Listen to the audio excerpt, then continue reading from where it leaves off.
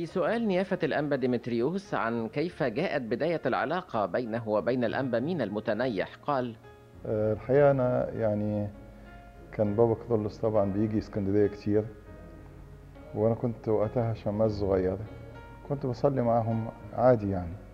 لكن العلاقة توطدت آه، لما البابا كرولوس جه آه، المدرسة كنت في مدرسة المدرسية الإعدادية وكنت وقتها يعني صغير في السن شوية كنت ناطق سنة يعني. فلما أعلنوا في المدرسة إن البابا كرولوس هيزور المدرسة رحت أنا للناظر وقلت له أنا مستعد يعني أحيي البابا كرولوس بكلمة باللغة القبطية. فقال لي طب استنى. استنيت في المكتب الناظر لغاية لما جه البابا كرولوس.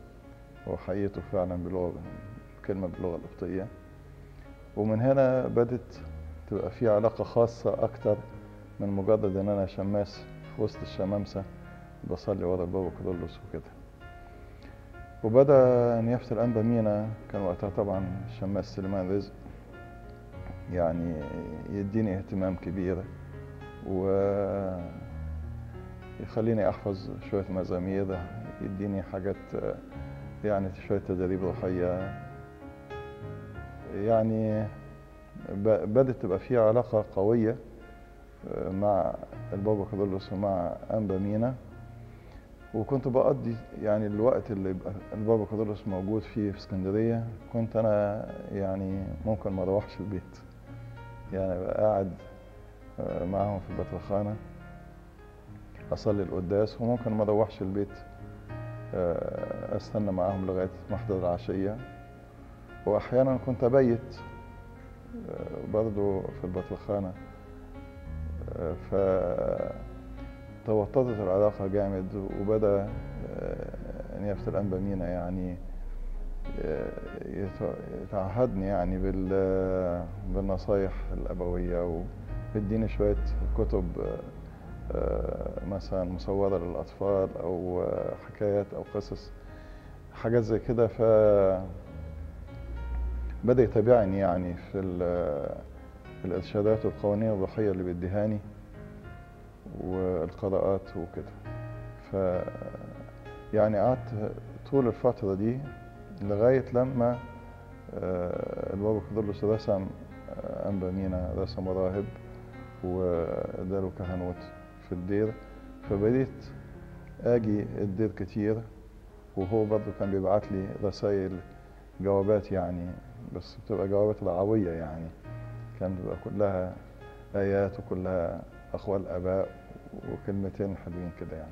الحقيقة هو أكتر حاجة كانت واضحة في حياة أنبا مينا إنه إنسان محب جدا ومتضع جدا و يعني بيدي اهتمام للشخص اللي قدامه يعني بطريقة واضحة قوي يعني لدرجة إن هو لما قضى فترة في اسكندرية كوكيل البطرخانة بعد ما اتسم راهب وقسيس أو قمص وقعد كوكيل البطرخانة في اسكندرية اتلم حواليه عدد كبير جدا من الشباب اللي نعتبره يعني شباب شاطح شوية كده يعني. لكن كان أنبا مينا كان بيحتضن هذا النوع من الشباب وبيديله عمل فردي ورعاية خاصة ويحوله من هو مجرد شاب ومشاغب ولا حاجة زي كده يبقى يعني شخص شماس وحلو وكويس. وكان أبونا بشوي كامل الحقيقة كان برضه صياد النفوس. كان يعني يصطاد النوعيات دي ويجيبها مخصوص للأنبا مينا فكان بيتعاونوا مع بعض في رعاية هذه الفئة اللي كانت محتاجة لرعاية شديدة. أنبا مينا أنا تلمست على أيديه سواء وهو في البطرخانة مع سيدنا البابا بابا كرولوس يعني في السنوات الأولى أو هنا في الدير قبل ما أترهبن أو بعد ما أترهبنت وبعد ما رسمت أسقف كمان. يعني يمكن من المواقف القوية جدا اللي مش ممكن تتنسي طبعا آه، يعني يوم ما جه نيافة الأنبا بشوي ي- يقول الأنبا مينا إن سيدنا البابا شنودة عايز فلان يترسم أسقف. فكان معروف إن آه، دير مدمينا كان اتجاه أنبا مينا إن هو عايز يعمر الدير فمش عايز الرهبان تاخد كهنوت وتنشغل بموضوع الكهنوت والزوار وبعد كده ممكن حد من الآباء الأساقفة هي عشان ياخد واحد من الرهبان آه، يخدم معاه في الأبروشية بتاعته ولا حاجة. فقال لا مفيش داعي للكهنوت كتير. طالما الآباء ال- الكهنة اللي موجودين في الدير ال- السبعة الأولانيين يعني. والكهنة الزوار اللي بيجوا للدير بيغطوا القداسات والاحتياجات الطقسية. يبقى كفاية مفيش داعي لرسامات كتيرة للكهنوت.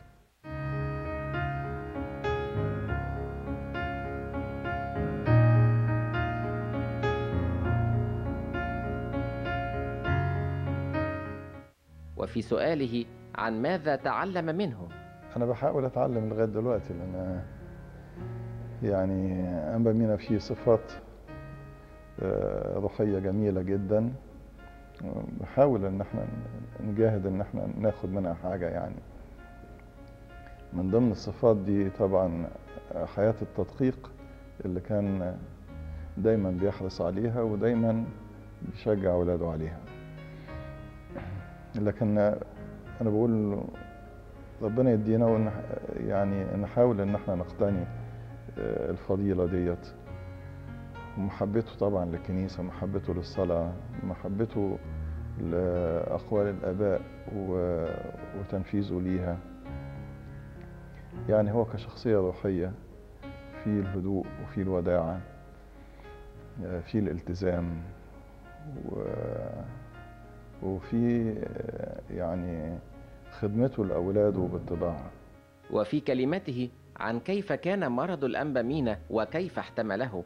في البداية كان أنبا مينا يعني ما حدش يحس إن هو مريض كان يعني بيحاول يخفي هذا يعني أو يعني آه، يحتمل أي مرض يجيله يعني.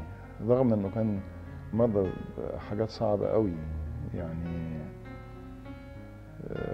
موضوع مثلا زي الحمى الشوكية ال- ويبقى مصر إنه مش عايز ينزل من الدير.